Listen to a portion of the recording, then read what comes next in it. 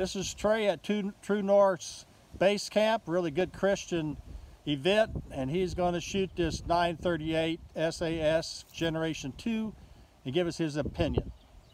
You may fire when ready, Gridley.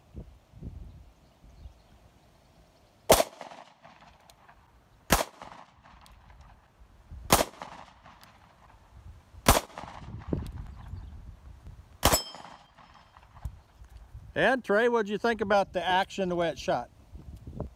I'm not a big SIG fan.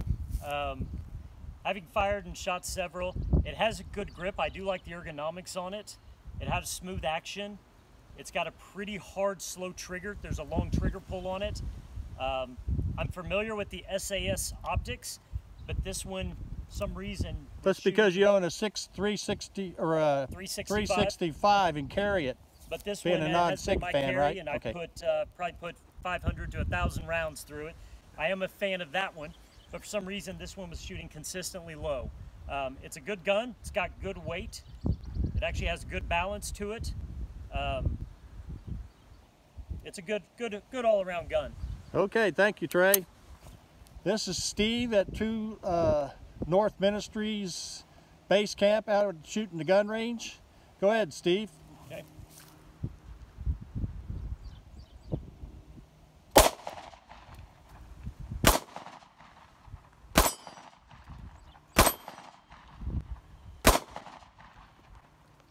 So, Steve, what'd you think about that? Um, I I I love the uh, the optics on it.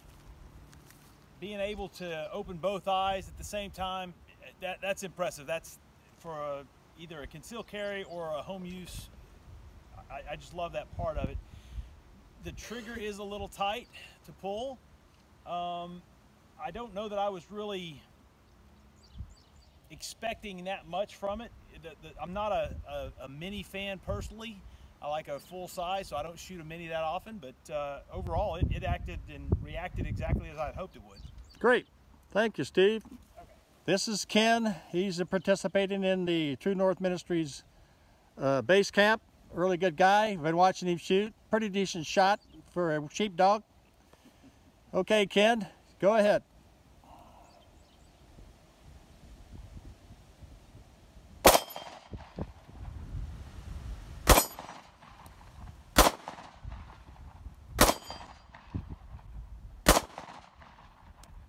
Well, what'd you think, Ken? You sound like you did a pretty good job there. I'll take three out of five, but um, yeah, it, it, it it's a little snappy. You know, little small guns are typically like that. Um, I like the grip swell on it. It's comfortable to hold. My smaller hands, I can get my I can get my pinky on the grip, which is nice. I feel like I can control it fairly well for a small gun, but you know, for a What'd you think of the sights? Oh, the sights are amazing. The sights are truly amazing. Yep. Yeah, I'd love to have another crack at it sometime. Well, today's a good day. Thank you. Okay. Okay, this is the target. Shot at 15 feet. It's uh, pretty much grouped here. Had some down there. Still kill shot, but or hit some damage anyway. But that trigger is needs a little work. Maybe some proper grease on it, some dry fire and get it broke in but it shoots good. It's crisp. There's a little travel, but not much. Once you get used to it, you got that travel taken up before you shoot, which is good. Uh, that's why I would work it anyway. So it did pretty good, I thought. Hi, it's Clint, Warriors and Sheepdogs. Today we're talking about the, it had evaluated the Sig Sauer 938 SAS. It's the, what I call a second generation because I had the first one to put out right here. Had a commenter tell me in a comment that mine wasn't an SAS, yet in the picture it showed SAS. So I don't know what he jumped to or jumped off of or jumped too quick to criticize and not read carefully or look at the pictures carefully, but this is the original SAS. Much different looking than the uh, one we're talking about today, the current SAS second generation, 938. The, the main difference is in these guns is this one, both of them are seven shot magazines, eight, one to two. This one's got a wider slide to accommodate the bullseye back sight. This little plastic piece up here lets in ambient light, so it puts a circle around the dot in the middle, which makes the bullseye. So, but if you're in a dark, it still has the bullseye, but it doesn't have the ring around it. In the light, it works really well. When you're shooting, be real careful, because that bullseye touches the ring anywhere, that's where the round's going. If he touches at 5 o'clock on the ring, that's where you're going to shoot. If touches at the 2 o'clock, that's where you're going to shoot. So you have to have a dead center when you squeeze off the round. This is a single action weapon only, like the uh, 1911. The only difference is it doesn't have a, a, grip safety like the 1911. One other thing this thing is unlike the 1911, it uh, it has a uh, safety, ambidextrous safety, which they do have some of those. But this one here, you can load it or unload it, leave the safety on. And I really like that saves from, because unloading loading is when you have a lot of your uh, unintentional discharges. This little gun comes with one 7 round mag. It's got the little finger rest there. Uh, I like that real well. My gun, I have several of it with a finger rest. Comes with uh, Hogue rubber, black rubber grips, which really, really good. Guys that shot this really like that. Grip on there. Uh, this gun weighs about 16 ounces unloaded, so it's a little heavier than the first generation one. Uh, doesn't come with a uh, threaded barrel, but you probably can get a threaded barrel for it. I got one for mine, right, my uh, first generation. It's all stainless like this one is, but it's got different kinds of hard coating, anodized uh, finishes on it.